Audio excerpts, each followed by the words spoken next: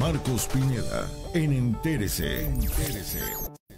Mucha actividad en el Congreso del Estado. Hoy ya quedó formalmente instalada la comisión que se habrá de encargar de uno de los temas más importantes para el Estado de Morelos, la salud. La Comisión de Salud de la 56 legislatura del Congreso local ha sido, como le decía, instalada y su presidenta será la diputada del Partido Revolucionario Institucional, Eleonor Martínez Gómez, quien, por cierto, le comento, tuvo que defender su diputación, así como lo oye, en tribunales, porque se la quería quitar el presidente del partido, Jonathan Márquez.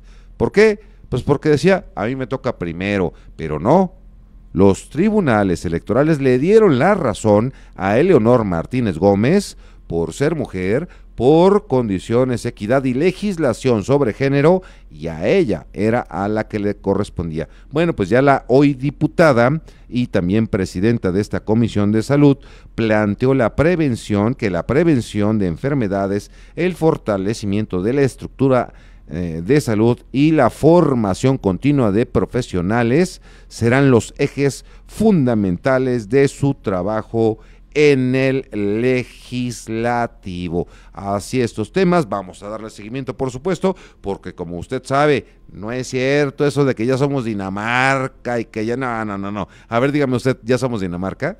Lo atienden como, ha ido a Dinamarca, bueno, nada más vea la tele, ¿no?